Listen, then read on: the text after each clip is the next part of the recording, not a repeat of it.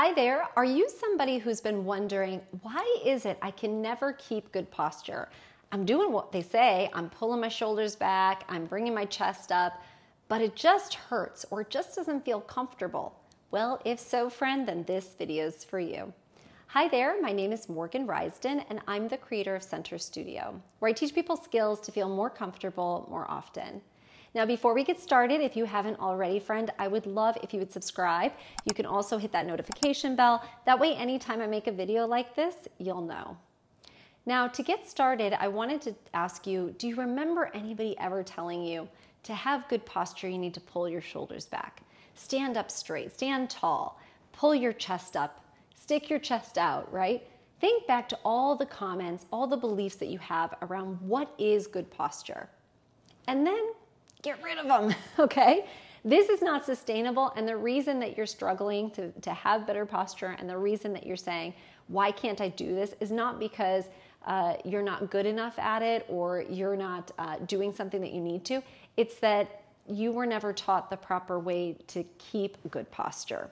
And why I say the word keep good posture is because we all have good posture at the beginning, right? If you think about children, if you think about babies and toddlers, they grow up in a way that they're using their spines beautifully, they're navigating the world with ease and comfort.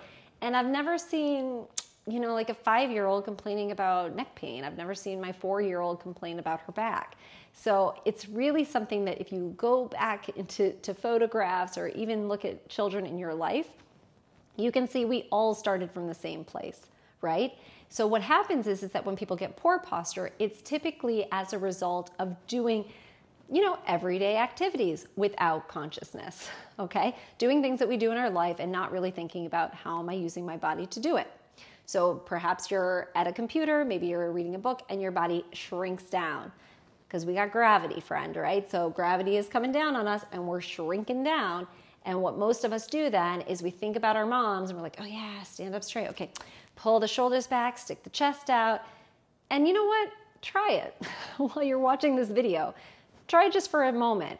Pull the shoulders back, stick the chest out, stand up tall, so to speak. Can you breathe here? Are you comfortable? Could you stay here for a long period of time? I know I can't.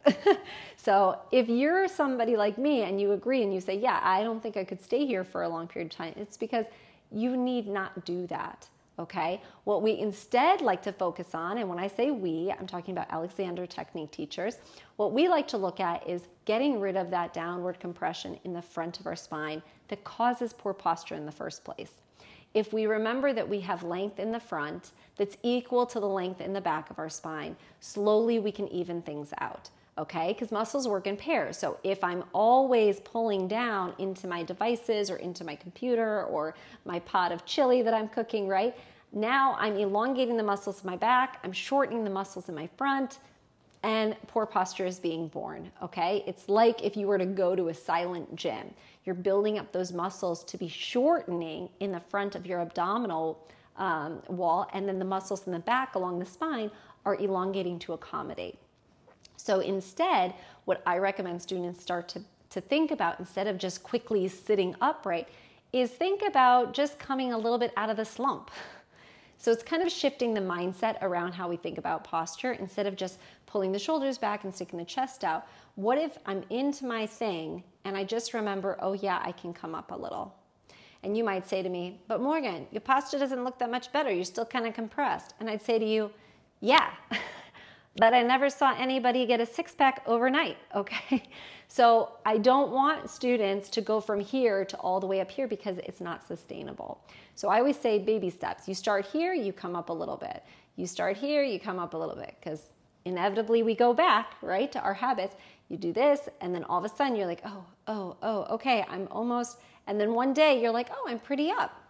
I'm pretty upright. I'm not as far down, and I'm still doing whatever it was I was doing before. I'm reading or I'm cooking my chili. It's delicious, and I'm still upright. And then from that place, then we think a little bit more upright. So we take that direction and we take it one step further to bring us a little bit more upright. But notice I'm not pulling anything back. I'm not shoving um, my chest out in any weird uh, way. I'm simply using my brain. I'm using my thoughts to think about and be conscious of any slight compression down. Oh, wait, no, I can stay up. But the world is so sad, but I can stay up.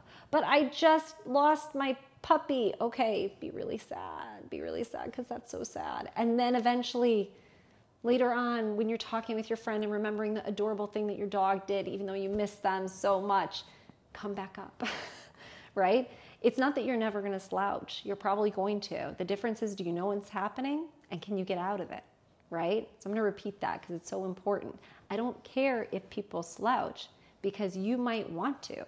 You might be experiencing something traumatic, a death in the family, a breakup, a divorce. You might be going through something that doesn't make you want to stand up tall. But eventually, you're going to say, I don't want to be in this slump anymore physically, emotionally, mentally. And I'm saying to you, friend, that's when you start to think a little bit more, oh, yeah, I can come up out of my slump. And good news, your shoulders and your chest will come too. okay, so hopefully this is a good food for thought for you. I hope you've enjoyed this video. Of course, if you haven't already, friend, be sure to subscribe. And of course, you can always like and share this video with your friends. All right, until next time, take care. Ciao.